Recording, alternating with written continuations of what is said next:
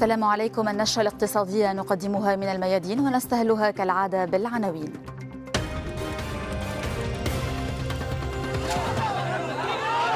جولة جديدة من المواجهة بين النقابات والحكومة لزيادة الرواتب في لبنان.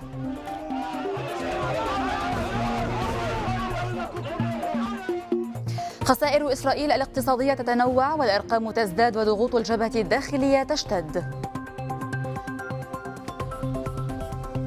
الرئيس الإيراني يستعرض سياسته الاقتصادية بعد عام من انتخابه وتراجع التضخم من أبرز الإنجازات.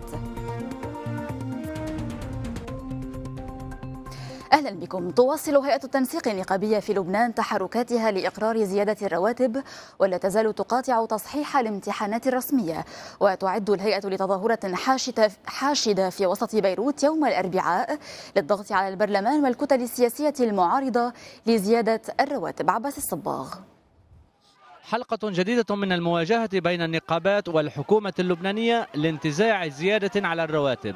فهيئة التنسيق النقابية نجحت في مقاطعة تصحيح الامتحانات الرسمية واستطاعت إرجاء قرار وزارة التربية إصدار إفادات النجاح لنحو 100 ألف طالب كرد على مقاطعة التصحيح. وزير التربية أعلن الاتفاق مع هيئة التنسيق على إيجاد حل يبعد منح إفادات النجاح للطلاب بعدما كان هذا الخيار بديلا عن التصحيح. المطالب اللي عم بيطالبوا فيها الأساتذة المحققه والكل مجمع عليها كيف بدنا نقدر نأمنها؟ خاصة أنه الأفق السياسي منه سهل ومسكر. بس بالنتيجة لازم نقدر نعرف والأساتذة وهيئة التنسيق لازم تعرف إذا بدنا ناخذ قرار على أي أساس بدنا ناخده. أنا قررت أنه القرار اللي كان مفروض يكون نافذ اليوم الساعة 12 الظهر بإصدار الإفادات أجله تحرك هيئة التنسيق يأتي ضمن سلسلة تحركات بدأت منذ سنوات وتكثفت في الأشهر الأخيرة تخللتها إضرابات وتظاهرات للضغط على الحكومة والبرلمان لإقرار زيادة الرواتب. هذه التحركات لم تصل إلى نتيجة حتى اليوم ما دفع هيئة التنسيق إلى التلويح بالتصعيد. للزحف غدا على ساحة رياض الصلح من أجل المطالبة بعقد جلسة للمجلس النيابي من أجل إقرار السلسلة من أجل إقرار الحقوق. لحد هلأ هيئة التنسيق النقابية ما لقت مين ينزل على المجلس ويقر هالحقوق. عدم إقرار زيادة الأجور يكمن في امتناع كتل نيابية عن حضور جلسات تشريعية في ظل الفراغ الرئاسي الذي بدأ في لبنان منذ نحو ثلاثة أشهر إضافة إلى اشتراط كتل سياسية زيادة الضرائب بموازاة زيادة الأجور. الأمر الذي ينذر بالمزيد من التصعيد النقابي في ظل ظروف غير مستقرة أمنيا وسياسيا يعيشها لبنان. فارق كبير سجلته الصادرات والواردات السورية في الأشهر السبعة الماضية. مؤسسة التجارة الخارجية كشفت أن إجمالي قيمة البضائع المستوردة من أكبر عشرة مصدرين بلغت 548 مليار ليرة أما الصادرات ف 58 مليار ليرة فقط. السعودية جاءت في المرتبة الأولى من حيث الدول الأكثر استيرادا للبضائع السورية تلاها لبنان والأردن. أما الأكثر تصديرا فجاءت إيران أولى باستيراد ما قيمته 253 مليار ليرة سورية تلتها أوكرانيا ولبنان. داعش يوقف التبادل التجاري بين الأردن والعراق. هذا ما كشفه رئيس جمعية المصدرين الأردنيين عمر أبو وشاح الذي أضاف أن صادرات بلاده إلى العراق ولا سيما إقليم كردستان توقفت بسبب ضربات الجوية الأمريكية. وتصل قيمة الصادرات الأردنية إلى العراق إلى نحو 100 مليون دولار شهريا في المتوسط وهي تراجعت بنسبة 70% مع بدء الاضطرابات في العراق. كشف مراقب الدولة في إسرائيل يوسف شبيرة عن عيوب كثيرة شابت عملية إعداد ميزانية الدولة للعام 2012 وهو ما أدى برأيه إلى تفاقم عجز المالية العامة بأكثر من المتوقع. شبيرة انتقد وزارة المالية بسبب غياب آلية للتأكد من التزام الحكومة بالقيود الخاصة بالميزانية المنصوص عليها في القانون وأشار المراقب في تقرير نشر الثلاثاء إلى أن العجز في ميزانية ذلك العام تجاوز خمسة مليارات شيكل وهو أكثر من ضعفي توقعات وزارة المالية.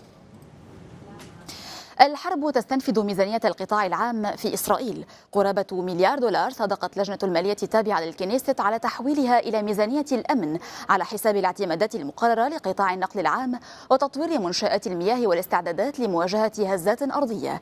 جلسة لجنة المالية في الكنيست شهدت صخبا كبيرا وصدامات بين أعضائها تفاقمت بعدما اتهمت النائبة عن حزب العمل ستاف شافير رئيس اللجنة بالكذب على الجمهور والعمل على منعها من كشف الحقائق. كم بلغت الكلفة الاقتصادية للعدوان الإسرائيلي على غزة؟ سؤال بات يطرح وبقوة داخل المجتمع الإسرائيلي ووسائل إعلامه والإجابة ربما تكون مع الزميل عبد الله ظاهر إليك عبد الله يبدو أن الخسائر كبيرة. حقيقة كبيرة جدا وفي قطاعات متعددة نستعرضها في التقرير التالي. تفضل. شكرا. أهلا بكم. ليست الصواريخ وحدها ما أوجع الجبهة الداخلية الإسرائيلية. نقل المعركة إلى الداخل أفرز تداعيات اجتماعية أدت إلى فقدان الثقة بالاقتصاد. التكاليف العسكرية السياحة الصناعة الزراعة البطالة العقارات والخطوط الجوية. قطاعات تعرضت لخسائر وواجهت تحديات اقتصادية كبيرة خلال العدوان على غزة. فماذا في الأرقام؟ في الكلفة العسكرية ونفقات العدوان تضاربت الأرقام بين وزارتي الأمن والمالية. الأولى أشارت إلى كلفة ملياري دولار أما الثانية فكشفت عن مليار دولار. أرقام حتمت على وزارة الأمن الإسرائيلية المطالبة بزيادة ثلاثة مليارات دولار على ميزانيتها للعام المقبل. طلب كهذا يعني رفع ميزانية الأمن إلى نحو 20 مليار, مليار دولار ما يمثل نسبة 17% من مجمل الموازنة العامة. السياحة أكثر القطاعات تضررا. نحو 50% من سياح فصل الصيف ألغوا حجوزاتهم ونحو 300 ألف سائح لم يأتوا إلى الكيان خلال شهر تموز يوليو الفائت.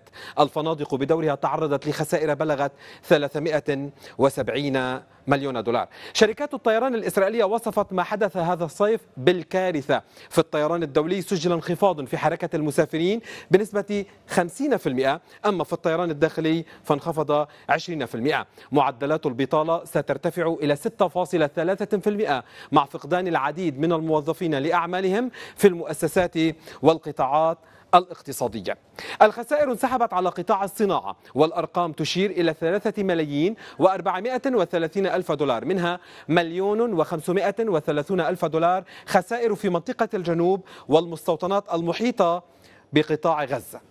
في الزراعة هناك أضرار مباشرة بقيمة نحو 15 مليون دولار. أما غير المباشرة فأكبر بكثير والمزارعون ينتظرون التعويضات المالية.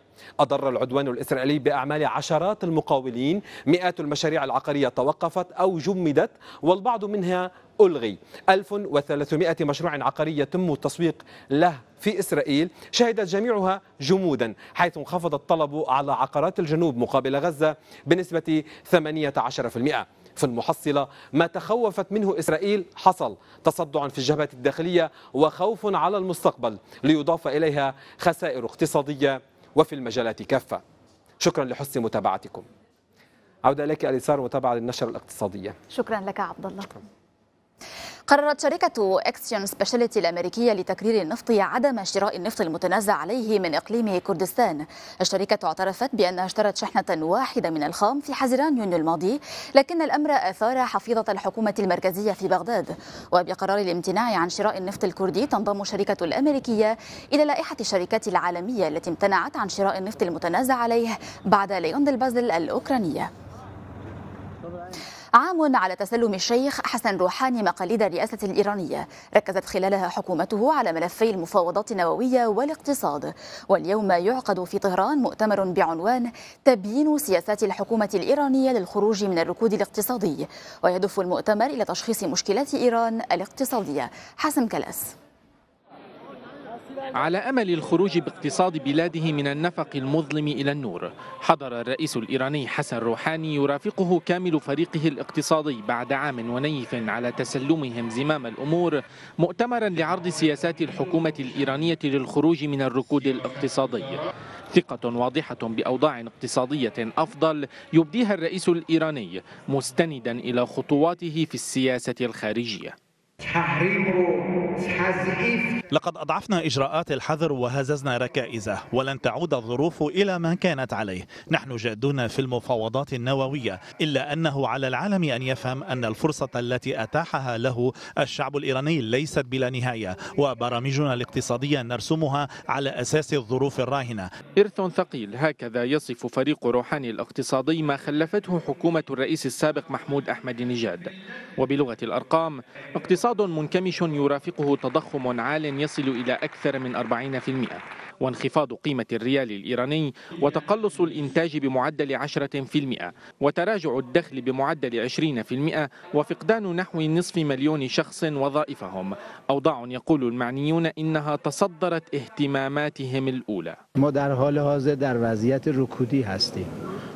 خطتنا الحالية ليست الوصول إلى نمو اقتصادي فنحن نعاني ركودا خلال العامين الماضيين انخفض الإنتاج وانخفض أيضا الدخل القومي ودخل المواطنين نتيجة للعقوبات. نحن نسعى إلى الخروج من هذا الركود ومن ثم إلى التحرك نحو النمو الاقتصادي. برغم ذلك تعد الحكومة تدابيرها الاقتصادية والآمال هنا كبيرة بتحسن الأوضاع. ألم تحقق الحكومة حتى الآن ما وعدت به؟ نحن اليوم نشهد نتائج ذلك. وكما قال السيد الرئيس روحاني فإن خطتنا ترمي إلى خفض التضخم إلى ما دون العشرة في المئة خلال الأعوام الثلاثة المقبلة.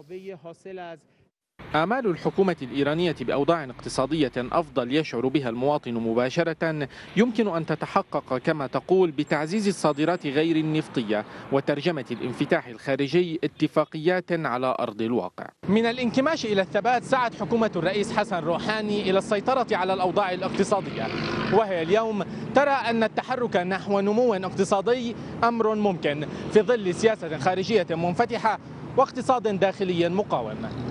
حازم كلاس طهران الميادين. بهذا نأتي إلى ختام النشرة. للمزيد زوروا موقعنا الميادين دوت نت. السلام عليكم.